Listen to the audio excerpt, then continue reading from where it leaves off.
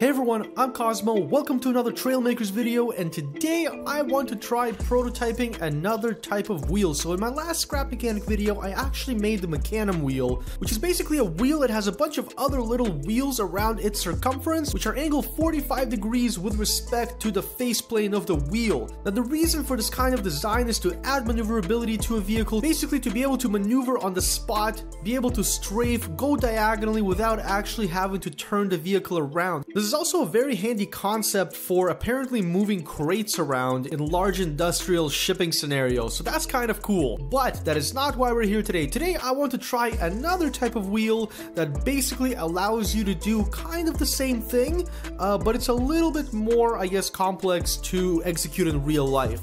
Now, luckily we're in a video game, so this should be a little bit easier. now that wheel, guys, is the ball wheel, or I guess the omni wheel as it is also sometimes called. Um, I'm really excited to give this a go. I want to build like an off-road vehicle uh, with maybe six of these and some suspension and just kind of see how it does. Uh, the biggest thing is maneuverability, right? So we're gonna have to add uh, some extra controls to this thing to hopefully be able to strafe and uh, do other cool things. Now I know this is going to come up in the comments guys, so I just wanted to clarify, in this video I just want to try to build something with ball wheels, basically just wheels shaped like balls. It would be really cool to build an actual omni wheel mechanism in the future video, but for now I just had this idea and I wanted to give it a try. Now once again, I'm not a logic god like some of my friends are, but I will do my best with the mechanical aspect of it and uh, hopefully I can get it to work as intended. So without further ado, let's get right into it guys. Actually, let's go build somewhere else. I always build on this thing. Now for the actual ball wheel, I'm going to be using the diving bell, guys. I mean, this is perfect. This has all the connection points that I need.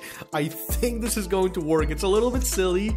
It's uh, it's not really using the part as intended, but hopefully it will allow me to achieve the effect that I want to achieve. So I guess we'll see.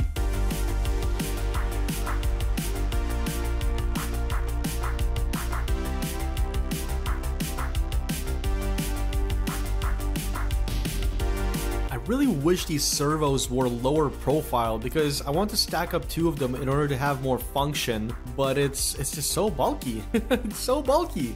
I actually ended up making the whole wheel uh, system a little more low profile. It was a little bit too tall before, I don't know if I like the suspension there as well, but really there's no other place to put it. So we'll just have to deal with it if we want suspension. There wouldn't really be a point of putting suspension on the axle of the ball wheel here simply because uh, we would just bottom out on this whole uh, structure here anyway. So this is the only place for it. It's actually looking pretty cool guys. I'm getting excited about this.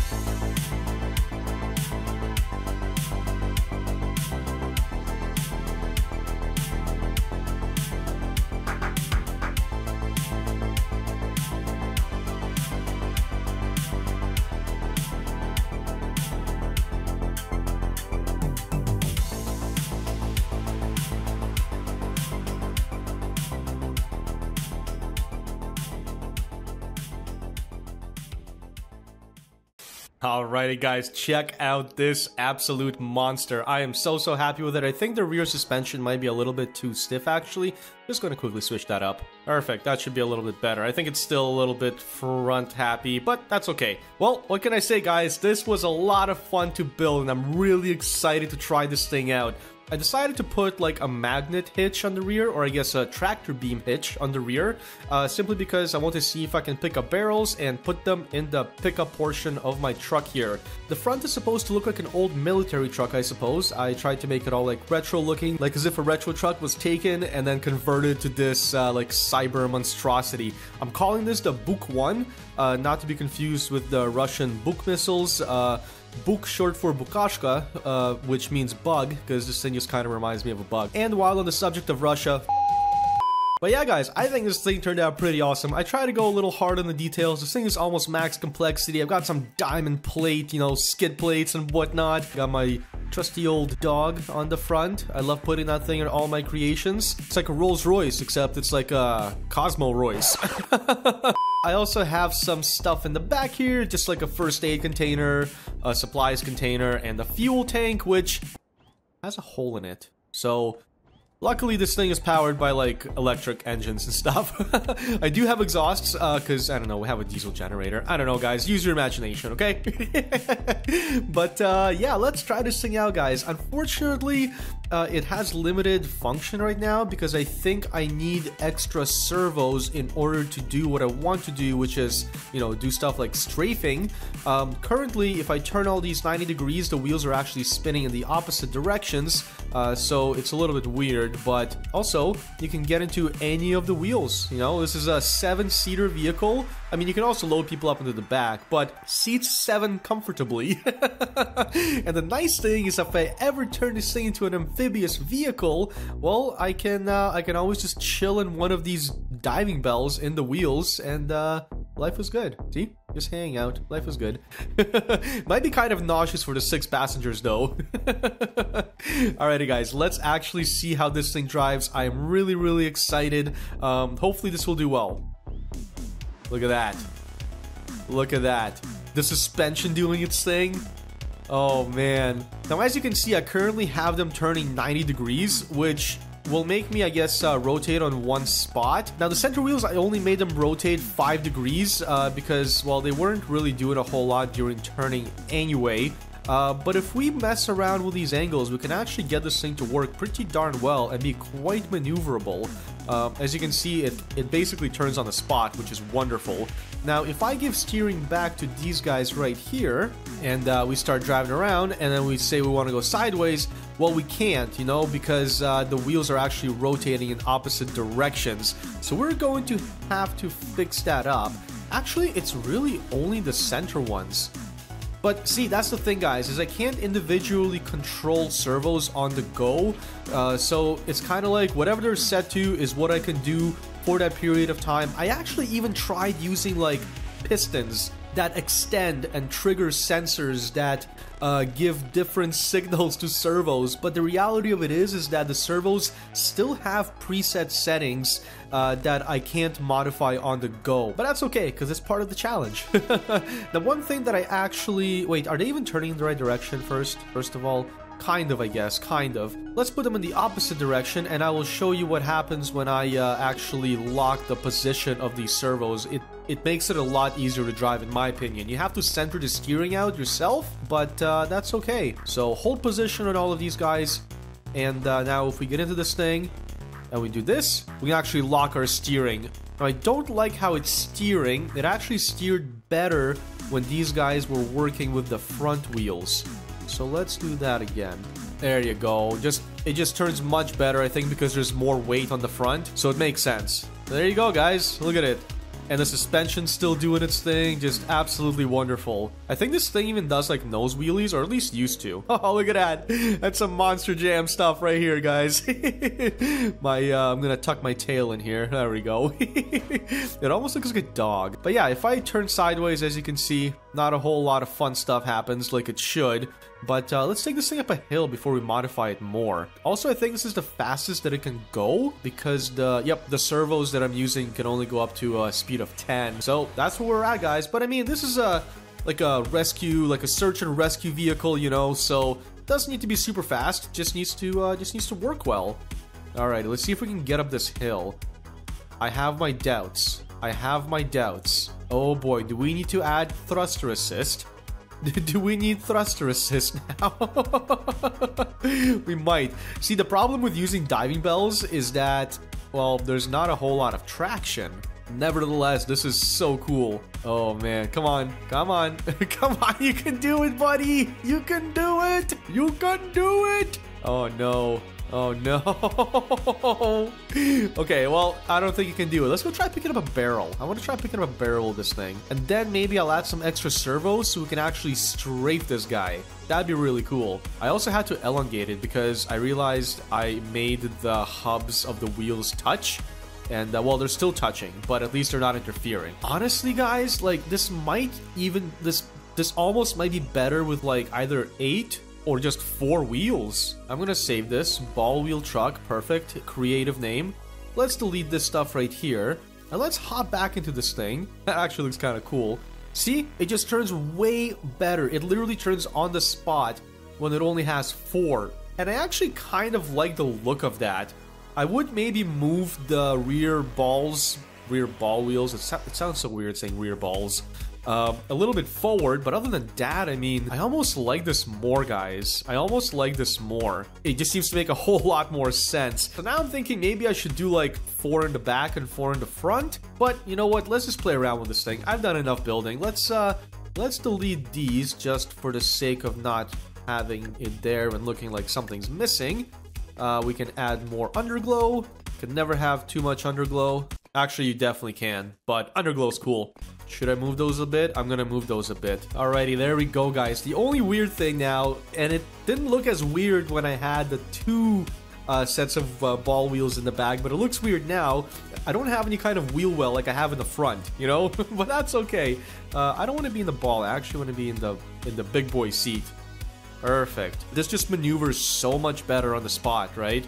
Oh, do I need to stiffen up the suspension a little bit? It's possible that I need to do that. Maybe, maybe. We'll see how this thing fares. Let's uh, let's back it into this. Perfect. Oh boy. no, it doesn't reach far enough. Oh, I think I need to extend my whip here. There you go. What could go wrong, right?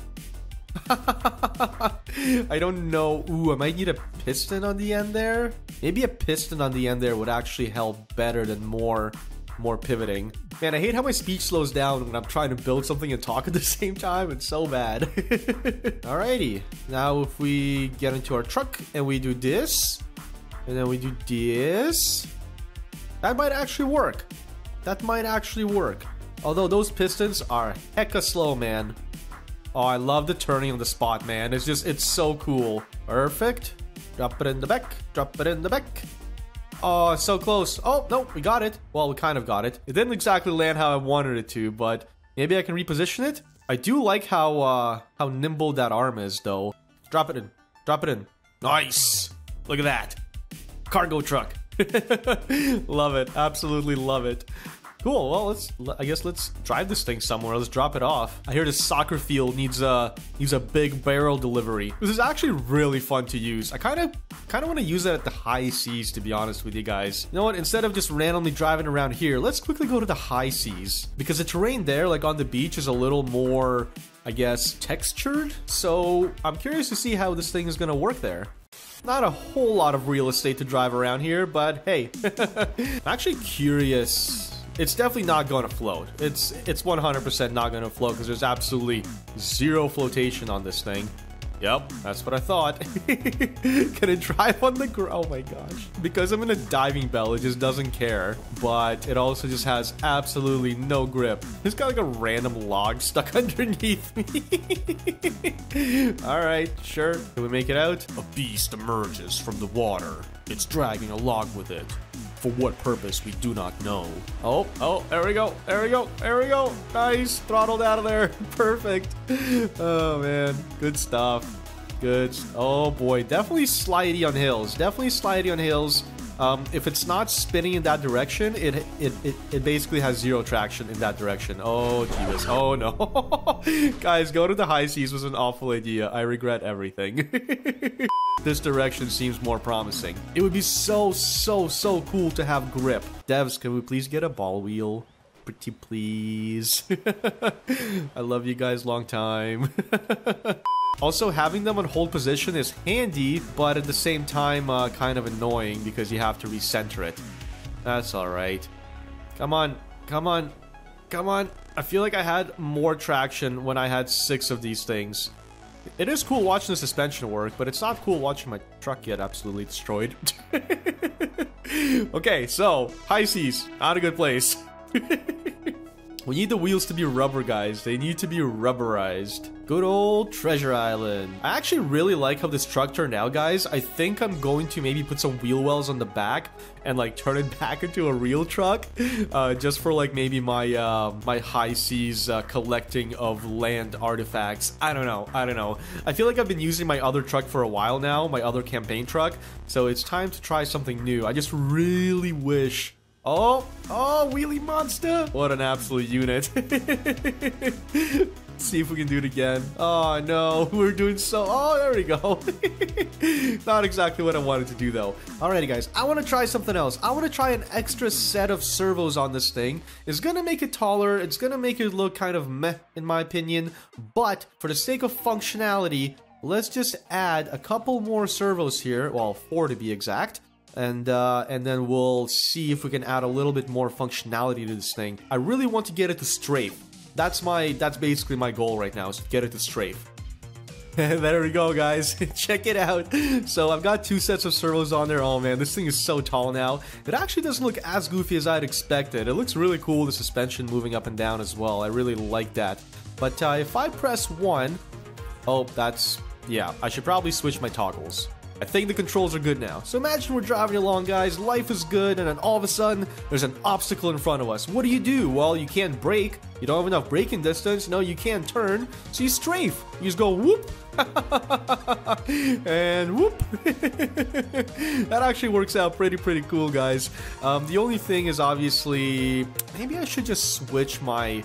I'm to switch these just for now to be not not to hold position. Not to hold position a little goofy. And I almost wonder if these should be set to like 45 or maybe 60 degrees now. Probably 45 would be better. So now this is the maximum that I can turn. Perfect. And now if I go whoop, can I still like, yeah, see, I can kind of do like drift turns almost. But it's weird. I can't, uh, I can't do my turning on the spot anymore. I mean, I can turn. It's just, uh, you know, it'll take a little longer but I can still strafe, which is nice. So I actually think I will turn those back to a higher angle. It would be so nice to be able to adjust this stuff with like sensors or, uh, you know, some other method of control. Because the way I see it is even if you try to create a system where you have like, you know, several sensors uh, trying to differently control the servos, uh, the servos still have preset settings, guys, right? So it's just, it's, it's just going to be no bueno. Alright, we can finally spin on the spot again. Life is good. Can we go straight? We can go straight, and if we really need to, well, we can strafe. Now, obviously, the suspension there kind of turns us when we start strafing at speed, but, uh, you know, if we're going straight, and then we stop, and then we go, whoop, then we can strafe just fine. This thing would be great for mazes. oh man, I'm really happy with how this thing turned out. I'm actually really happy with how this thing turned out.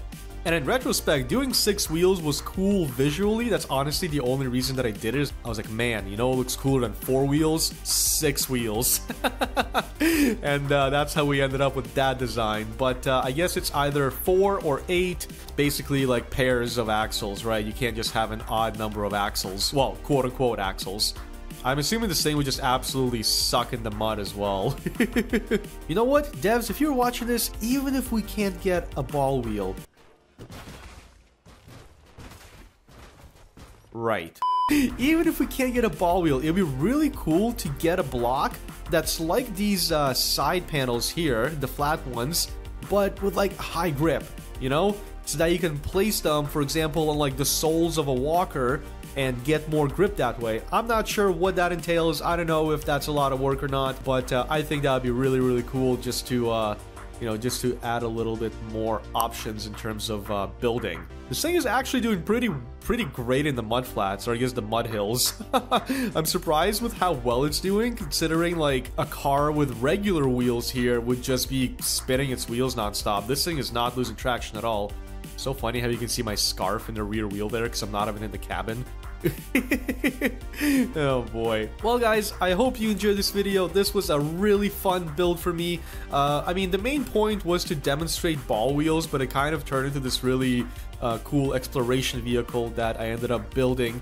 But uh, if you guys did enjoy the video, definitely let me know in the comments below. If you guys have any other funky wheel ideas or any other ideas that you would like me to try out, I would be more than happy to, so put it in the comments down below. And if you guys did enjoy the video, click the like button down below, helps the video be seen by other people, the algorithm does its magic. If you guys are not subscribed yet, subscribe for more awesome content, and I will see you in the next video.